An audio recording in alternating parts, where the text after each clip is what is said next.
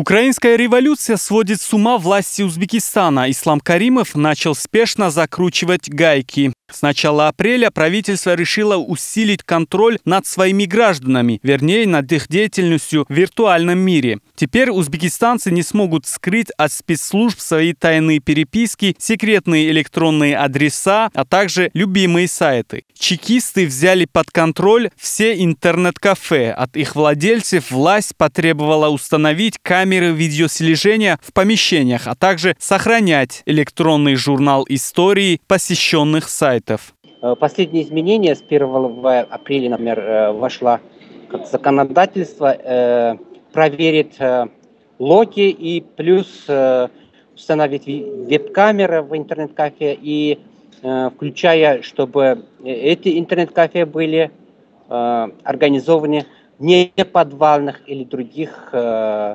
помещений. Это уже опасает людей, что их будет тотально контролировать. Конечно, есть э, многие возможности технологические у власти, чтобы контролировать э, людей э, и дома, и на улице через эм, геолокации, все другие возможности интернета.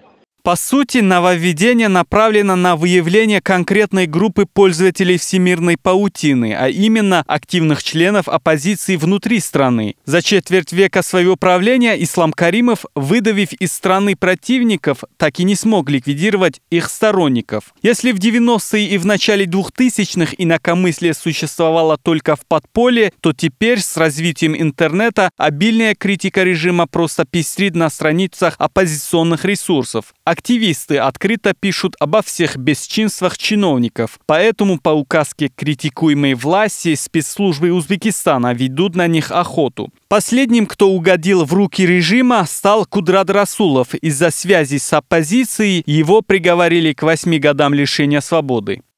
Власти его обвинили э, к причастности, причастности террористической организации.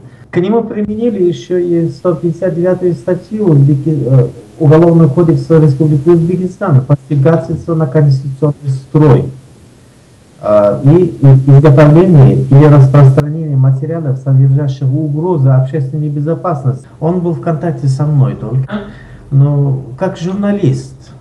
Он, он на самом деле не имеет такую профессию, но он писал очень хорошо. А, лично сам я редактировал его статьи. И, и, и его статьи пош... ну, мы публиковали. Он, он писал на узбекском языке. Он больше всего критиковал местные газеты, республиканские газеты, которые пишут э, о Мурманской области, что, что они не соответствуют действительности. Он Кроме преследования инакомыслящих, контроль в интернет-кафе повлияет также на уровень самоцензуры обычных пользователей. Год от года власть в Узбекистане все больше ограничивает своих граждан в правах. Из-за многочисленных запретов аналитики называют республику второй Северной Кореей. Например, в Узбекистане, как и в КНДР, существуют выездные визы, действует строгий регистрационный режим, финансовые взаимоотношения граждан осуществляются только пластиковыми картами. Власть, пытаясь навести порядок, придумывает порой абсурдные запреты, наподобие запрета езды на мотоцикле. thank you